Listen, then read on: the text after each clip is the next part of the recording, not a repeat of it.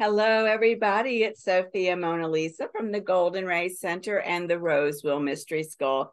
And I'm super excited to introduce my most recent video journal uh, to you on the new moon in Leo, uh, which was conjunct Venus. It was also conjunct Lilith, and how Thecla, this uh, manifestation of the divine feminine, uh, is represented by not only this new moon in Leo, but also uh, by Venus rising as morning star as the Leo goddess. She's definitely a Leo goddess, as you can see by this image of her here with with the lion. She's known as the prophet prophetess of true power, and I talk about her and how she relates to these aspects uh, in in the full video journal.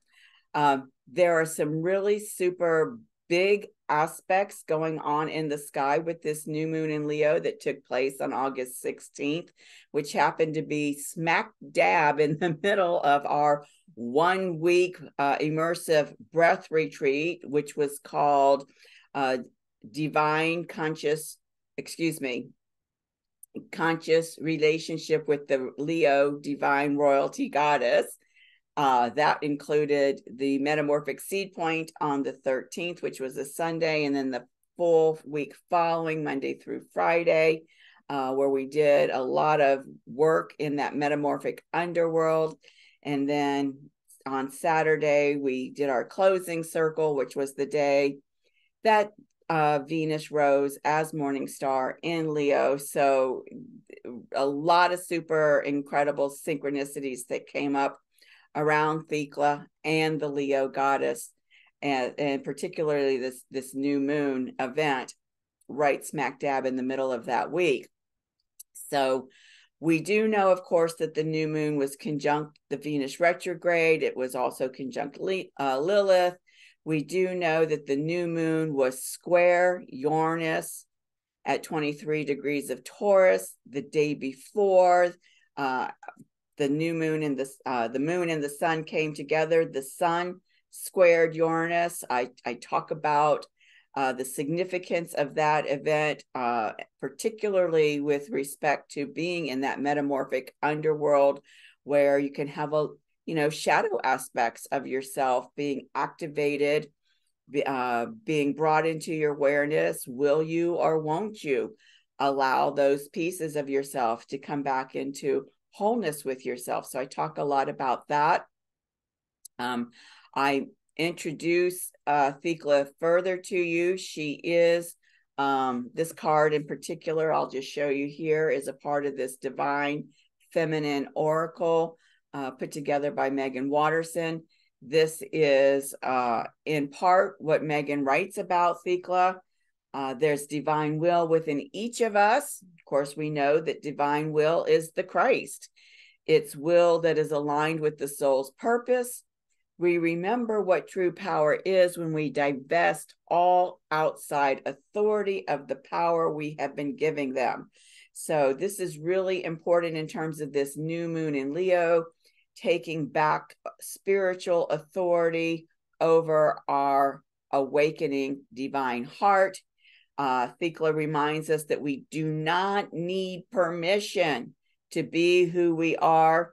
We have all the power right now within us, and that that is the source of fire itself, the divine will to call back our spiritual authority and claim this life as our soul's own. So I talk about how this part of what Meggan Watterson shares around Thecla is relevant to what's going on in the sky with the new moon in Leo. And of course, Leo uh, as a fire elemental sign. I love that she says that's the source of fire itself. Once again, referencing the fact that she, Thecla, is definitely a Leo goddess, uh, in addition to Sekhmet, whom I uh, made reference to in my last video journal on the metamorphic seed point. So we also have this super rare event happening in the sky on the same day as the new moon. It's called a kite aspect. Uh, it involves a grand earth trine. And of course, not everybody would see this kite aspect because they may not necessarily be working with the same luminary bodies that I work with. And because I work with Isis as a representative of the cosmic Sophia, this kite aspect just jumped out at me in terms of how it is working to help transcend us in terms of our evolution to become a new spiritual master, to have gifts that are available to us that that the average person that's still stuck in the duality of this 3D reality are not even going to be able to comprehend. It will look like uh, people that are evolving through the work that we're doing at the Galactic New Earth Project in terms of bringing the 12 strands of DNA online um, and, and the spiritual gifts that they now have access to uh, that have been given back to them with those activations coming online. It's going to look like they're performing miracles. And so that's all being spoken to in this kite aspect, which is uh, really significant because then the kite aspect and the new moon also blended together give us a um oh before i get into that i want to talk about the spiritual mastery point you know the gifts far beyond what most are able to comprehend. You got to get this kite up off the ground, right? You need air to get the kite up off the ground. It's one thing to have the kite, but you got to do the work to get it up off the ground. And I talk about that as well. Anyhow, together, the new moon gives us a loose yod aspect. And of course, you know from previous journals that I've done that that yod is about you know, il destino, that this is intended to happen now, come hell or high water, nothing can stop it. And what's absolutely beautiful is that this yod is built into some of the aspects of the kite, um, and that the new moon itself is at the apex of the yod. So I show uh, that in terms of an overlay so that you can see it.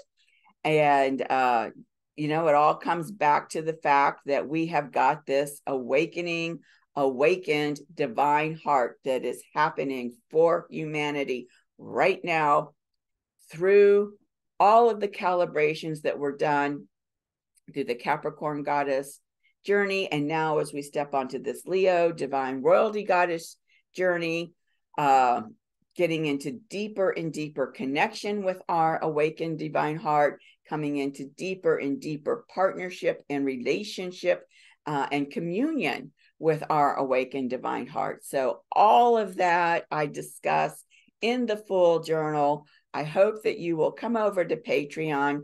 Uh, this particular vlog is available at the tier one membership uh, level for $11 a month. Uh, got a lot coming up still this month of August because I'm playing catch up from having taken that one week uh, for that immersive breath retreat. So I've got a bunch of videos still that I'm going to be putting up for August. And I would love for you to come over and see them in their entirety. So until my next time, I want to thank you very much for watching this brief introduction, and I'll see you soon. Bye bye.